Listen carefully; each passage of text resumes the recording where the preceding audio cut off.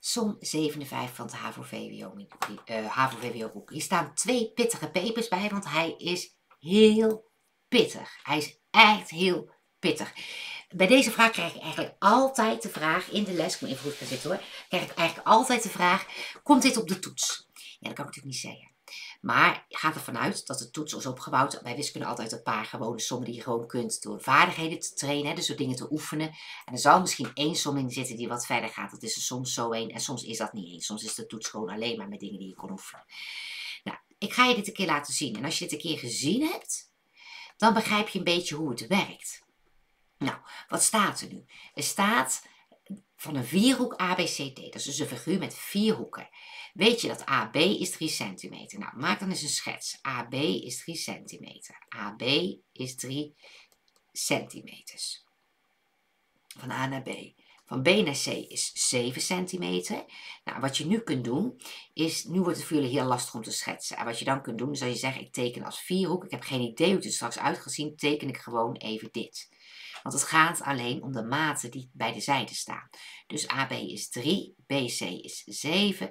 Ik kan dit al schetsen, maar er zijn er maar weinig van jullie die dat kunnen en dat snap ik ook. En AD is 4. Ik heb dus de maten erbij gezet. Dat gaat niet kloppen, maar als ik een vierkant teken, het gaat mij om hoeveel is A van B naar C, hoeveel is van C naar D straks als ik ga tekenen. Is er ook nog gezegd dat de afstand van B naar D, dat die 6, uh, nee 5 centimeter, ik wil zeggen 6 kan niet. 5 centimeter is. Zo, de afstand van B naar D is 6 centimeter, eh, 5 centimeter. Dus daar zetten we een 5 bij. Nu moeten jullie hem gaan tekenen. En soms krijg je alvast een beginnetje. Nou, er staat hier één peper. Nou, ik, ik zou zeggen, uh, maak er een heleboel pepers van, want hij is heel pittig. Echt een moeilijke som. Nou, hoe uh, doe je dit nu? Je hebt een schets gemaakt en dan begin je gewoon eerst met Te tekenen. Dus je begint eerst met AB te tekenen van 3 centimeter. Dit gaat zo straks niet in deze vorm zijn. Hè? Dat is alleen een soort hulpmiddeltje om te kijken uh, hoe lang is het van B naar C, hoe lang moet ik straks van C naar D. Nou, en dan teken je AB. En nu moet je iets gaan gebruiken wat je nog nooit gezien hebt. Je denkt misschien wat zit hieronder, maar dat is een geodriehoek, die heb ik laten vallen en ik kan er niet meer bij. Dus dan moet ik eerst mijn programmaatje opnieuw opstarten. En dat vind ik zonde van zijn. Nu is het lastig, want een driehoek tekenen, ja, dat kun je wel. Maar, uh, dus een driehoek tekenen, dat lukt wel. Maar een vierhoek tekenen met een passen, dat is wel een hele andere, ja, is een hele andere situatie. Nou, wat ga je nu gebruiken? A, B heb ik al gedaan. Dus deze heb ik al getekend. En kijk, een vierhoek met een passer, dat kunnen jullie niet. Maar jullie kunnen wel een driehoek met een passer tekenen. Dus we zouden deze driehoek al kunnen tekenen. En dan snap je dan helemaal niet hoe je straks bij C moet komen. Je hebt in ieder geval dan al het eerste stukje gevonden. En vaak komt dan het volgende stukje vanzelf. Nou, dan hebben we dus deze is 4. En deze is 5. We gaan nu driehoek tekenen. A, B, D waarvan AD is 4 en BD is 5. Die zal niet deze vorm hebben, want het is maar een schets. Het gaat om de maten. En wat is zo fijn aan deze schets? Als je deze schets hebt, dan zie je, hey, A en D liggen 4 van elkaar. Dus als je een passer moet gebruiken, dan weet je dat D, wil dus een passer gaan pakken, dat D vier hokjes van A af ligt. Kijk maar, want D ligt 4 van A af, dus D ligt op een cirkel met straal 4. Dat kan niet anders. Hè? Kijk, ik teken hier de rode cirkel. Hoppa. Ergens op deze cirkel ligt punt D, want D ligt 4 van A af. Verder weet je dat D 5 van uh, B af ligt. Dus 5 van B. Dan pak je. Oh. Zo, 5 tussen je passer en je tekent een cirkel hier. Dan teken ik ook de blauwe cirkel. En dan zie je dat hier punt D ligt. Nou, die kan ik alvast tekenen. Weet je, want dan krijg je, krijg je ook al punten voor op de toets. Hè? Bij de toets krijg je bij iedereen bijna altijd punten voor wat al goed gaat. Dus daar komt de C. Daar komt de C. Uh, de D, excuses, de D. Ik ben zo gewend dat ABC is. Daar komt de D. Nou, deze was 3. Deze is 4. Ik zet er even bij. In centimeter. A, B en daar komt D. Nu weet ik al dat deze 5 is. Dat hebben ze gegeven.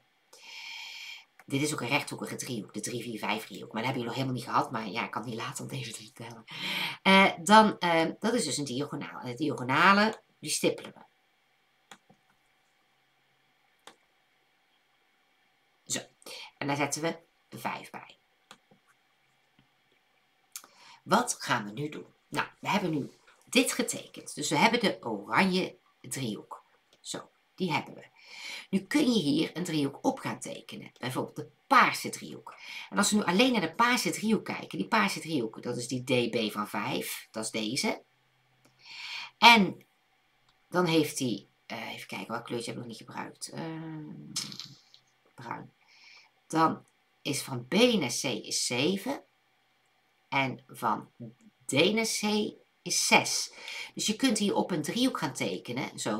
Oh, nou, dat is een cirkel, maar ik wil eigenlijk laten zien. Je kunt hier op zo'n driehoek tekenen, uh, waar C 6 van D ligt en C ligt ook met het bruine stukje, zeg maar even 7 van B af.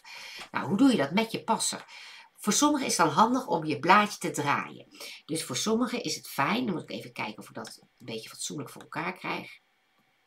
Ik heb een ander filmpje mee zitten Hannessen. Kijk, ik kan hem zo draaien. En dan weet ik, C ligt dan ergens hier. En dan moet die 7 van B af liggen. En dan moet ook 6 van D af liggen. Nou, ik kan hem nu hier zo op gaan tekenen. Uh, en dan ga ik zo doen.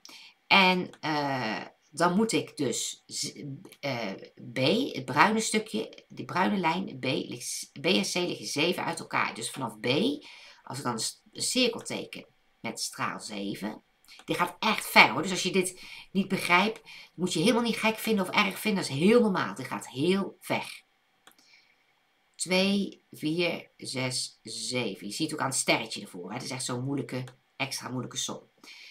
2, 4, 6, 7. Een beetje, een beetje uitdaging is het eigenlijk. Zo. Dan teken je hem. Uh, oh, wacht even hoor. Zo. Nu teken ik die bruine cirkel. En op die bruine cirkel liggen alle punten die 7 van C af liggen. Ik ga even voor het gemak deze cirkels weghalen. Uh, dus op deze cirkel liggen alle punten die 7 van B af liggen. Dus ook C, want C ligt 7 van B. Maar C ligt ook 6 van D af. Dus dan pak je 6. En let op, ik heb nu een blaadje gedraaid dat ik wel de hokjes zo pak en niet schuin. Dus daarom doe ik me steeds even een beetje zo hannissen. Dan pak je 6 tussen je passen, straal 6 centimeter of hokjes. 2, 4, 6. En dat is, even kijken, roze. De roze. Even kijken hoor. Op het E. En dan pak je 6. En dan zetten we die bij D. Want C ligt, dan kun je in schets zien, 6 van D af. Dus ik ga hem hier een roze cirkel tekenen. Zo. Nu weet ik dat punt C, dit is B. Nu weet ik dat punt C hier ligt. Want hij ligt op de roze cirkel en op de bruine cirkel. En dan kun je tekenen. Ook even de vaste lijn pakken. En dan kun je tekenen. Nou, dan kan ik hem terugdraaien. Dat hij alles pakt. Dan kan ik hem terugdraaien, zo. En dan klopt hij. Kijk maar, want dit is het antwoord uit het nakijkboekje. Bij mij zijn wat cirkelbogen weg. Dit is A.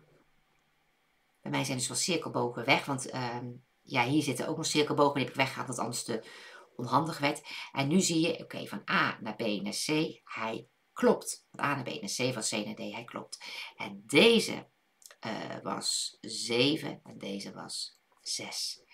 Dat is hoe het werkt. Dit is echt heel moeilijk. Maak je geen zorgen als dit zeker in het begin niet lukt. En de vraag is maar of er zoiets moeilijks op de toets komt. Nou, dat was hem. Bedankt voor het kijken en tot het volgende filmpje.